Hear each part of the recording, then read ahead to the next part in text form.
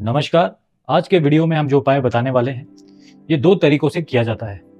दो तरीके कह लीजिए या फिर ये कह लीजिए कि दो परिस्थितियों में आप कर सकते हैं। पहली परिस्थिति ये है, हो सकता है कि आपका एक शत्रु है, जो, जिससे आप बहुत ज़्यादा परेशान हैं, जो आपको या आपके घर परिवार में काफ़ी लोगों को परेशान कर रहा है। और आप ये चाहते हैं कि उसके साथ आपकी शत्रुता हमेशा के लिए समाप्त हो जाए और वो कभी भी आपको परेशान ना करें, वो अपने रास्ते और आप अपने रास्ते। यानी कि बिल्कुल भी आपकी बातचीत समाप्त हो जाए और वो कभी भी आपको परेशान ना करे पूरी ज़िंदगी भर। दूसरी परिस्थिति ये रहेगी कि आपका जो शत्रु है, आप ये चाहते तो हैं कि शत्रुता समाप्त हो जाए, मगर आप ये ये भी चाहते हैं कि जो शत्रु है, उसके साथ आपके मित्रता वाले, यानी कि दोस्ती के रिश्ते पनपने लगे, यानी कि उसके साथ आपकी दोस्ती हो जाए। दोनों ही परिस्थितियों में इस उपाय को कैसे करना है? उपाय लगभग बराबर ही रहेगा, यानी कि एक जैसा ही रहेगा। थोड़ा सा इसमें परिवर्तन करना होगा, वो हम आपको इसमें बता देंगे। हम परिस्थिति नंबर दो, यानी कि आप शत्रु के साथ शत्रुता समाप्त करके दोस्ती करना चाहते हैं तो शुरुआत उससे करते हैं। करना क्या है? देखिए, पहले तो ये बात भी समझ लीजिए, अगर आप कन्या राशि के हैं और कुंभ राशि के हैं तो ये उपाय बिल्कुल ना करें, आपको इसमें लाभ नहीं मिलेगा। बाकी राशि के जातक इस उपाय को कर सकते हैं।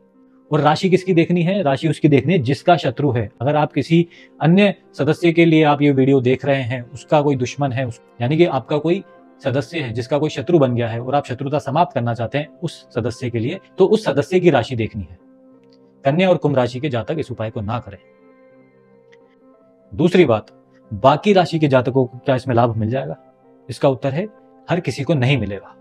क्योंकि हमने हमेशा बताया है कि इस दुनिया में इतने अरबों लोग रह रहे हैं, सबके जन्म का समय अलग है, जन्म का स्थान अलग होता है तो इस वजह से भले ही उनकी समस्या एक जैसी हो, भले ही राशि एक हो, मगर उनके जो उपाय निकल कर आएँगे, उनके ग्रह नक्षत्रों की वजह से वो बिल्कुल ही अलग अलग आएँगे। तो जिन जिन लोगों के ग्रह नक्षत्र इस उपाय के साथ सटीक बैठ जाएँगे, उनको निश्चित तौर पे इसमें अच्छा रिज़ल्ट मिलेगा।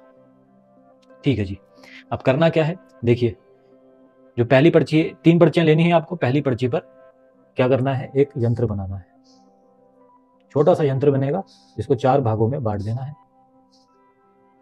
यहाँ पर आप लिखेंगे नौ नौ के बाद यहाँ पर इक्यानवे यहाँ पर शून्य और यहाँ पर तिकोना बनाना है। नज़दीक से देख लीजिएगा। नौ के बाद इक्यानवे लिखना है, फिर शून्य, फिर तिकोना। दूसरी पर्ची पर उस व्यक्ति का नाम लिखना है, जो आपका शत्रु है। तीसरी पर्ची पर उसकी डेट ऑफ़ बर्थ कह लीजिए, या फिर जन्म तिथि अगर मान लीजिए उसकी जन्म तिथि है पंद्रह जनवरी उन्नीस तो आप वो लिख देंगे। अगर आपको उसकी जन्म तिथि नहीं पता है तो आप क्या करेंगे? उस व्यक्ति की तस्वीर इस पर लगा दें। अगर तस्वीर भी नहीं है, ना ही जन्म तिथि पता है तो सिर्फ़ आप दो पर्चियों से काम करेंगे। ठीक है जी। अब क्या करना है? इन तीनों पर्चियों को एक साथ रख देना है, कम से कम एक घंटे के लिए।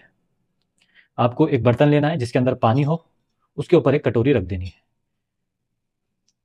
कटोरी रखने के बाद इसमें एक कपूर है, थोड़ा इसमें डाल दीजिए।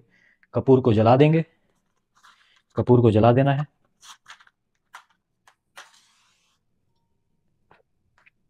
और उसके बाद ये जो पर्चियाँ हैं, इनको मोड़ के पर्ची को मोड़ के इस पर डाल दें। इसको जलने दें। अच्छे से इसको जलने दें। जब तक ये जलेगा, इसमें आपको कुछ बातों का ध्यान रखना है। जब ये जल रहा होगा, यानी किसी राख बन रही होगी तो अब आपको क्या सोचना है कि आपकी शत्रुता इससे समाप्त हो रही है, जिसका नाम लिखा गया है, और साथ ही साथ आपकी जो संबंध है, वो सुधर रहे हैं। मधुर संबंध होते जा रहे हैं। आपकी जो है दोस्ती है, वो पनपती जा रही है। ये आपको सोचना है, उपाय जब ये, जब इसमें आग लग रही होगी, यानी कि जब इसका कागज़ का राख बन रहा होगा। ऊपर से शत्रुता समाप्त हो रही है और नीचे जो नॉर्मल पानी रखा गया है, बिल्कुल नॉर्मल पानी रखा गया है, इससे क्या आप सोचेंगे, इसकी वजह से क्या होगा, आपकी जो शत्रुता है, आपकी जो शत्रुता है, वो दोस्ती में बदल जाएगी। पूरा इसको राख को आप जलने दें, आप इस कागज़ को पूरा जलने दें, पूरी राख बनने दें। जब राख बन जाएगी, जब पूरी राख बन जाएगी और राख को ठंडी होने दें पूरा कागज़ जल जाए राख ठंडी हो जाए, उसके बाद इसको उड़ेल देंगे पानी में। इसको उड़ेल देना है पानी में। ठीक है जी। तो इस प्रकार आपका ये उपाय समाप्त होगा। इस उपाय को आप सिर्फ़ सोमवार को नहीं करेंगे, बाकी अन्य दिनों में आप ये उपाय कर सकते हैं। दूसरी बात, जो पहली परिस्थिति वाले लोग हैं, जो चाहते हैं कि शत्रुता समाप्त हो, शत्रु का नाश हो, और यानी कि शत्रुता समाप्त हो जाए और उस व्यक्ति के साथ कभी भी बातचीत ना हो, पूरी ज़िंदगी भर वो अपने रास्ते, आप अपने रास्ते। तो क्या करना है? ये नीचे जो पानी है, इसको नहीं रखना है, सिर्फ़ कटोरी लेनी है, उसमें कपूर डाल के इसको जला देना है। बाकी पूरा जो उपाय है बिल्कुल बड़ा वैसे ही रहेगा जैसा हमने बताया। यानी कि जब आग जल रही होगी, राख बन रही होगी तो आपको क्या सोचना है? तब आपको सोचना है कि आपकी शत्रुता समाप्त हो रही है। वही कि वो अब आप अपने रास्ते आप अपने रास्ते, कोई एक दूसरे को परेशान नहीं करेगा, कोई एक दूसरे से बात नहीं करेगा। इस प्रकार ये उपाय आपको करना है। यदि आपके ग्रह नक्षत्र इस उपाय के साथ सटीक बैठ गए तो आप खुद देखेंगे, आपको इसमें इतना जल्दी और अच्छा लाभ मिलेगा, कभी आपने सोचा भी नहीं होगा, इतना गहरा लाभ मिलने वाला है। गहरा मतलब कि इतने सालों तक उसका लाभ का आपको देखने को मिलेगा। और कितने दिनों में लाभ मिल जाएगा? वो आपके ग्रह नक्षत्र कितने सटीक बैठ गए, इस उपाय के साथ उस पर निर्भर करता है। पूरा अगर सौ बटा सौ बैठ गए, मान लीजिए सौ प्रतिशत बैठ गए तो पंद्रह दिनों के अंदर अंदर इसमें आपको लाभ मिल सकता है।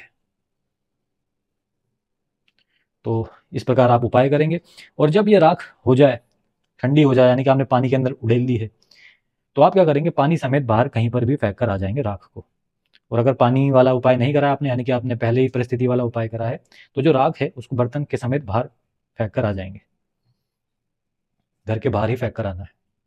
तो इस प्रकार आप उपाय करें, निश्चित तौर पे आपको लाभ मिलेगा। और यदि आप अपने ग्रह नक्षत्रों के अनुसार ही उपाय करना चाहते हैं, जल्दी लाभ पाना चाहते हैं तो आप हमारा टेलीग्राम ग्रुप है जो उसको ज्वाइन कर सकते हैं।